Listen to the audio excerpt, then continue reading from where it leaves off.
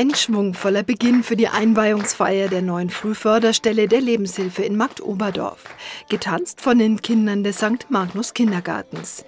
Wie mit diesem Kindergarten arbeitet die Frühförderung seit Jahren eng mit vielen Einrichtungen zusammen. Denn Frühförderung ist für viele Kinder von 0 bis 6 Jahren wichtig.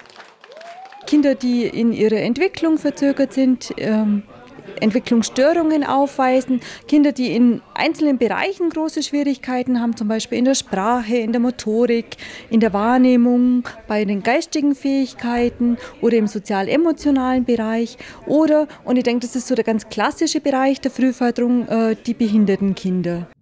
Bereits seit rund 17 Jahren gibt es die Frühförderstelle in Marktoberdorf. Jetzt ist die Einrichtung umgezogen in ein eigens für sie gebautes Haus.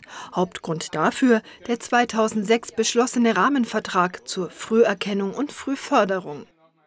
Durch diese Änderungen hatten wir erheblichste Defizite bei den Einnahmen. Wir hatten Verluste von, ja, sage ich jetzt mal, roundabout 100.000 Euro in einem Jahr. Und das hat der Lebenshilfe natürlich schon wehgetan und wir standen vor der Entscheidung, uns entweder da durchzukämpfen oder den Bereich Förderung abzugeben. Weil aber die Frühförderung jetzt wirklich das Wichtigste ist, der früheste Beginn ist das Wichtigste, haben wir uns dazu entschieden, komme was da wolle. Wir ziehen die Frühförderung in jedem Fall mit und Sie sehen ja, es hat geklappt. So entstanden hier neue Therapieräume, passend für die Bedürfnisse der 23 Mitarbeiter und über 100 betreuten Kinder.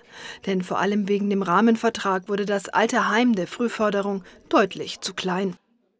Der sieht vor, dass Kinder, die einen komplexen Förderbedarf haben, die Leistungen aus einer Hand bekommen. Das hat für uns zur Konsequenz gehabt, dass wir deutlich mehr Therapien vorhalten mussten. Und dazu braucht man einfach viel mehr Räume, als wir das bisher hatten.